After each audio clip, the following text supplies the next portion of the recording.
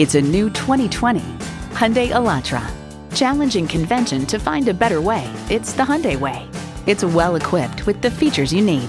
Streaming audio, power heated mirrors, dual zone climate control, wireless phone connectivity, manual tilting steering column, inline four cylinder engine, aluminum wheels, gas pressurized shocks, and continuously variable automatic transmission.